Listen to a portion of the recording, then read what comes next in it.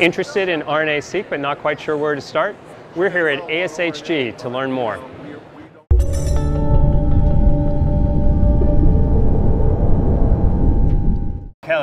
Thank you for joining me here to talk about your poster. I understand you've been doing some work in RNA sequencing. Can you tell us a little bit about what your findings were? Yeah, I have a poster here talking about some RNA sequencing experiments we did with um, breast tumor research samples with a collaborator, Dr. Wittliff. He's done quite a bit of research on breast cancer over the years, and um, so we're working with him to understand the mRNA and microRNA profiles of, of breast tumor research samples. And we were able to find through sequencing and understanding the profiles of mRNA and microRNA expression some inverse relationships in some key key um, genes that could serve as a biomarker potentially in the future. Oh, that's great. So yeah. you're getting information about both the mRNA and the microRNA in the same experiment then? Right.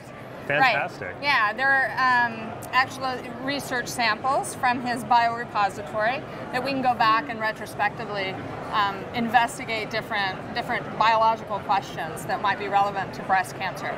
So it's two different library prep methods, one to look at microRNA and one to look at mRNA. We're able to do that in the same samples and then and then make some um, conclusions about how those two types of, of RNAs may interact with each other. Very good. Yeah. Um, I, I, am looking through your poster. I, I, see that there was some challenges in yeah. terms of the amount of material that you had available to you. Can you tell us a little bit about um, how you've been able to improve upon small sample input? Yeah, so traditional RNA-seq methods, especially for mRNAs, um, require quite a bit of material and usually require you to either remove the ribosomal component of a total RNA sample or maybe enrich for poly-A.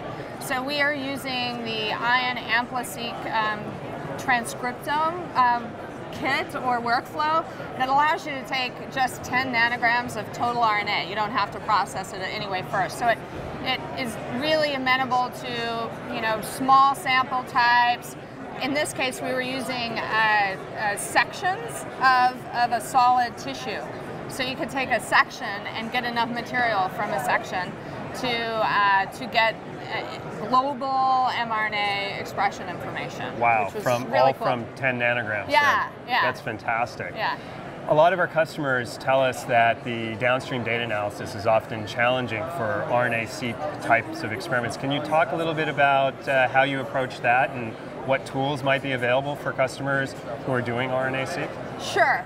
So the, the transcriptome, the AmpliSeq transcriptome um, product is targeted still, like our AmpliSeq um, technology. So there are, are specific amplicons that interrogate each gene, and that makes the analysis very simple as well. You have one um, mapping event that, that tells you how much of a gene is expressed. So there's actually a plug on, uh, plug-in that we use on the instrument that gives you counts per gene and allows you to quickly um, understand in like 15 minutes, 30 minutes, gives you counts per gene and, and in a nice format that you can uh, export into Excel and you don't have to be a bioinformatician to, to understand it. Even I can do it and I'm a molecular biologist. So it's, it's really nice to get quick gene level information in an easy format. That's fantastic. Yeah.